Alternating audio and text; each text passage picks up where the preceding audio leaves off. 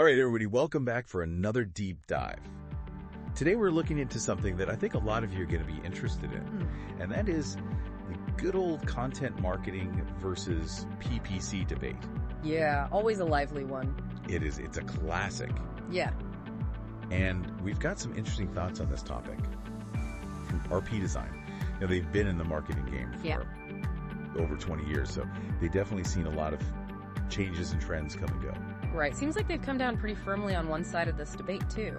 Yeah, they have. And, you know, I think a lot of you out there listening are probably either feeling the pinch of your, you know, PPC budget, Yeah. just constantly throwing money at Google and Facebook, or maybe you're just looking for something a little bit more sustainable, a little bit more long term.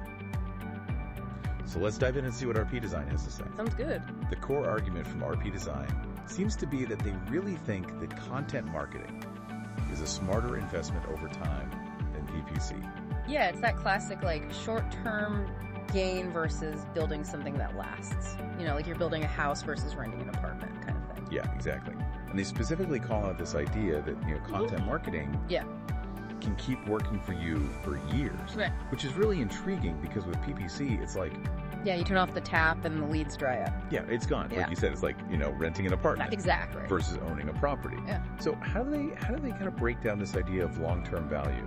Um, well, they don't really get into specific case studies Okay. or anything like that, but I think the underlying principle they're getting at Yeah. is that with content marketing, if you do it right, Yeah. you're creating assets Yeah. that have the potential to just keep generating traffic and leads over time. Okay. You know, like a well-written blog post and if it ranks well in search results, Yeah. it could attract visitors for years to come Yeah. without you having to constantly pump money into ads. Hmm Okay, and they also claim that content marketing is more cost effective over time. Hmm. I mean, is that is that always the case though?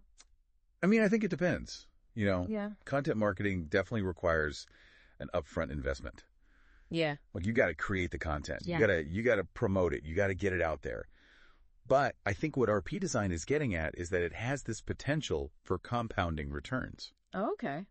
I like that. Yeah, it's like a snowball effect. Mm-hmm. You know, the more good content you have out there, Yeah. the more visible you become, yeah. the more authority you build, hmm the more organic traffic you attract. And that means you can start to rely less and less on paid ads. Okay, so it kind of builds upon itself. Right, exactly. Yeah. So in the long run, it could definitely be more cost effective. Now they do mention this proprietary method that they use, and they're basing it on something called Google buyer intent.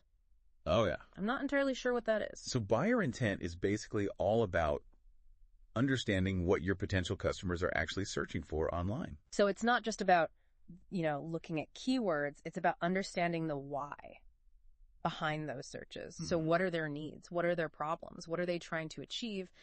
And by tapping into that, you can create content that really resonates with your target audience. Okay, so instead of interrupting them with an ad, Hmm. you're basically Right. creating content that they're actively looking for. Exactly. Yeah, that makes a lot of sense. And I'm sure RP Design has like, you know, tools and processes to really analyze this buyer intent and figure out how to create the right content to attract those people. I mean, they've been in the game for 20 years, Yeah. so I'm sure they've got a few tricks up their sleeve. Yeah. They also talk about becoming an authority in your industry through content marketing. How does how does that actually work? Well, I think it goes back to trust. Think about it like, w- would you rather buy from someone who's constantly shouting sales messages at you?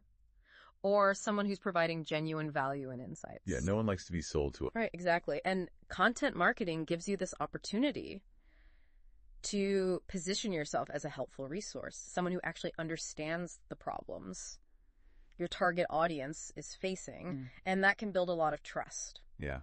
Which ultimately leads to more sales. So it's like you're building relationships. Exactly. instead of just, you know, trying to make a quick buck. So essentially what I'm hearing from RP design is it's all about playing the long game, Yeah. you know, attracting customers naturally Yeah. instead of constantly having to pay for their attention. Yeah. I think that's a pretty good summary. Yeah. But I do have to ask though, Hmm. does PPC still have a place? Oh, absolutely. I don't think it's like a one or the other situation. Yeah. I mean, PPC can be great for short-term campaigns, Okay. product launches. Yeah. You know, if you need immediate visibility, you need to get your message out there quickly. PPC can be a really effective tool. Mm-hmm. It also allows for very precise targeting. Okay. So you can make sure you're reaching the right people at the right time. So it's about finding the right tool Yeah. for the job. I like that. Yeah. So we've covered a lot of ground here about content marketing, its potential for you know, long-term value, Mm-hmm. cost effectiveness, building trust. How do you think someone listening to this Hmm. can really apply these ideas to their business? Well, I think the key takeaway here is to really think about what kind of content would be genuinely valuable to your ideal customer. Yeah. You know, it's not just about creating content for the sake of creating content. Right. It's about creating content that's actually going to help people solve their problems, Yeah. answer their questions, and ultimately make their lives better. Yeah. Because at the end of the day, Yeah. it's all about providing value. Exactly. All right. Well, I think that's a fantastic place to wrap up. So think about what you've learned today. Weigh the pros and cons of both approaches, content marketing versus PPC, and decide what's the best fit for your business. Keep diving deep, keep learning, and as always, happy marketing.